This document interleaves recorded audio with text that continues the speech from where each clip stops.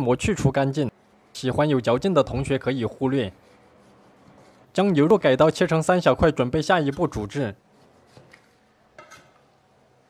然后把切好的牛肉放入锅中，加入适量的清水，加入几片生姜，加入几根小葱，加入料酒三十克，然后开大火烧开。大火烧开之后，再撇去浮沫，然后转中小火煮二十分钟。这一步的目的是将牛肉煮熟。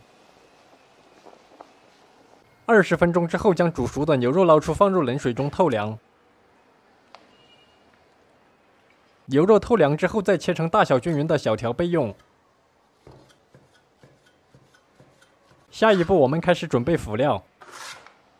碗中加入适量的干辣椒，加入八角半颗，加入香叶一小片，加入桂皮一小块，加入原始芝麻三十克，加入几颗青花椒之后，准备下一步制作。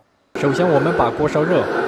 锅烧热之后，将配好的干辣椒和香料下锅，开中小火将香料炒香，把干辣椒炒脆。这一过程大概会持续两分钟左右。辅料炒香之后再盛出，用石臼捣碎备用。没有石臼的同学可以用菜刀剁碎。辅料捣碎之后倒出，准备下一步制作。我们再次把锅烧热，锅烧热之后加入菜籽油八十克，将油温烧至六成热。油温六成热之后，将切好的牛肉丝下锅，开中小火将牛肉煸炒三分钟。这一步的目的是将牛肉的水分炒干。三分钟之后，加入料酒五克，从锅边淋入，再加入煮牛肉的原汤五十克，然后开大火烧开。大火烧开之后，开始调味，锅中加入食用盐一点五克，加入少许白糖提鲜。加入少许胡椒粉，然后开中小火收汁两分钟。中途再加入生抽酱油三克，加入捣碎的辣椒面。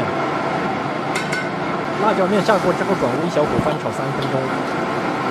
这一步的目的是将水分炒干，让牛肉吸收辅料的香辣味。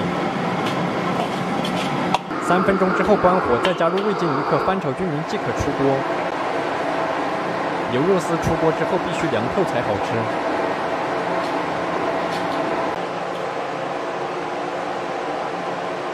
一道回味悠长的自贡冷吃牛肉就制作完成。下面开始冷吃牛肉的技术总结：第一，最好选择牛臀肉或者牛腱子肉；第二，加入牛肉的原汤收出来的味道会更香；第三，辣椒面下锅之后必须转微小火慢收，否则很容易糊锅；第四，喜欢吃麻味的同学可以最后加入花椒面；第五，吃完牛。